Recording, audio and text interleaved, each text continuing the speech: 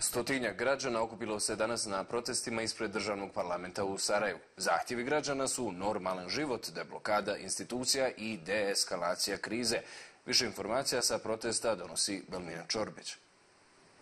Nezadovoljni trenutnom situacijom u Bosni i Hercegovini, prije svega situaciju koja se odnosi na političku blokadu rada državnih institucija, stotinjak građana okupilo se danas na platovu ispred parlamenta Bosne i Hercegovine kako bi poslali poruke političarima u Bosni i Hercegovini da se vrati u svoje klupe i da počnu sa radom. Neke od poruka su kako je, i mi želimo da znamo kako je primati 8000 maraka mjesečno, a ništa ne raditi, konstitutivni jesmo, ravnopravni nismo, e, hoćemo jednaka prava za sve, e, nećemo, e, nećemo torove, od nas ste napravili rovove, pa i političkoj trojici u Bosni i Hercegovini, Dodik, Čović i Zedbegović poručuju da je i njih dosta, kako kažu svakog gosta, tri decenije dosta, da je vrijeme da idu sa političke scene i da je vrijeme da se krene sa radom u Bosni i Hercegovini, kako bi se, pored pored svih ovih problema u državi zaustavio i odlazak mladih.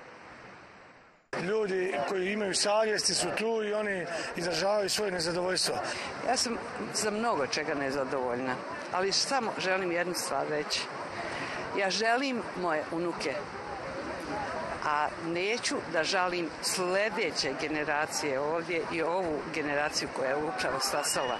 Koji su rođeni, hoće da žive i žele Trebali bi da dođu ovdje, da je ovdje 100.000 ljudi. Vidite koji su protesti u Beću, Engle, u, u Austriji, u, u, tamo na zapadu. A ovdje dođe 100 ljudi.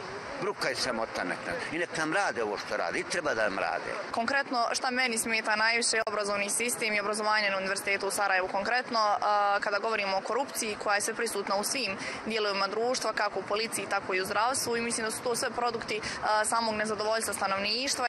Ovo su četvrti protesti koje su građani organizovali putem društvenih mreža. Prvi su održani ispred e, OHR-a, gdje su od visokog predstavnika Kristijana Šmita zatražili da poništi sve odluke koje, je, koje su donesene u Narodnoj skupštini Republike Srpske, a koje se odnose e, da, da srpski političari neće učestvovati u radu državnih institucija, pa i da kazne sve one koji su uzrokovali ovu trenutnu krizu i blokade u državi. E, drugi su održani ispred delegacije Evropske unije, a potom i ambasade SAD-a, odakle su građani poslali, uputili tačnije poziv američkom predsjedniku Joe Bidenu da sačuva suverenitet i teritorijalni integritet Bosne i Hercegovine. Građani najavljuju da neće od svojih zahtjeva odustati.